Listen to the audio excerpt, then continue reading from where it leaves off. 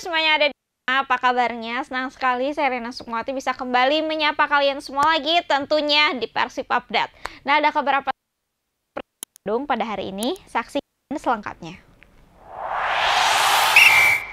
Kabar pertama datang dari tim Persib Bandung yang baru saja Cina pada Selasa 1 Oktober 2024 siang dan langsung menggelar pada sore harinya. Pelatih Persib Bandung memberikan program latihan untuk menjaga kebugaran pemain yang baru saja menempuh perjalanan panjang dari Indonesia. Selain itu, Ciro Alves dan kawan-kawan juga baru saja menjalani pertandingan pekan ke-7 Liga 1 2024-2025 di kandang Madura United. Sesi latihan pertama di China itu pun lebih banyak berlatih dengan bola setelah melakukan peregangan. Sebelum bertanding, Persib Bandung masih memiliki satu kali kesempatan latihan lagi untuk mematangkan skema permainan dan adaptasi cuaca. Saat ini cuaca di Hangzhou, China berkisar di angka 20 derajat Celcius yang lebih dingin dari kota Bandung. Adapun pertandingan kedua grup F AFC Champions League 2 atau ACL 2 melawan Zhejiang FC sendiri akan berlangsung di Huanglong Sports Center, Hangzhou pada Kamis 3 Oktober 2024.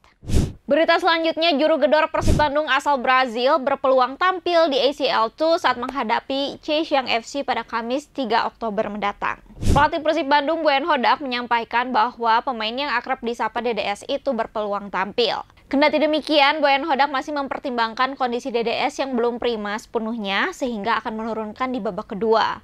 Hodak menyampaikan kondisi DDS belum fit sepenuhnya karena absen selama satu bulan untuk pemulihan Menurut Hodak, DDS masih perlu waktu untuk mengembalikan kebugarannya. Ia akan memberikan kesempatan bermain bagi pemain bernomor punggung 19 itu agar kondisinya pulih secara bertahap. Selanjutnya kabar bahagia datang dari anak Jakarta alias Rezaldi Hehanusa yang baru saja memperpanjang kontraknya bersama Persib Bandung hingga 2026. Rezaldi Hehanusa resmi menandatangani kontrak baru berdurasi 2 tahun hingga pertengahan 2026 pada Selasa 1 Oktober 2024. Sporting Director PT Persib Bandung bermartabat, Aditya Putra Herawan turut menyambut positif ikatan kerjasama anyar dengan pemain yang kerap disapa bule tersebut. Pasalnya, Bule merupakan sosok pemain kunci dalam skema yang dijalankan pelatih Boyan Hodak saat membawa Persib juara musim lalu. Rezaldi tampil dalam 25 pertandingan sepanjang Liga 1 2023-2024. Pembaruan kontrak baru ini diharapkan bisa membuat Rezaldi meningkatkan kontribusi untuk Persib. Terlebih, Maung Bandung saat ini dalam misi mempertahankan gelar juara Liga 1 serta diharapkan bisa berbicara banyak di kancah Asia, persisnya di ajang AFC Champions League 2 atau ACL 2 2024-2025. Sebelumnya, keberadaan Rezaldi Hehanusa sempat dikhawatirkan Boboto karena tidak masuk ke dalam daftar skuad Boyan Hodak yang diboyong ke Cina untuk melakoni matchday kedua ACL 2 melawan Zhejiang FC pada Kamis mendatang. Ketika penggawa lain berangkat ke Cina, Rezaldi Hehanusa dipulangkan setelah ikut ke Bangkalan untuk melakoni laga pekan ke-7 Liga 1 melawan Madura United. Ia dipulangkan bersama Gustavo Franca karena sama-sama mengalami cedera.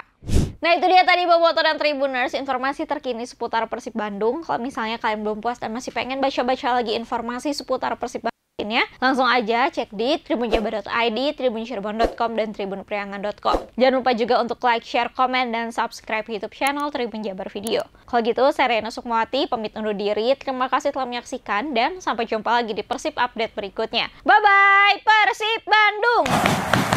Persib Bandung! Persib Bandung. Bye bye.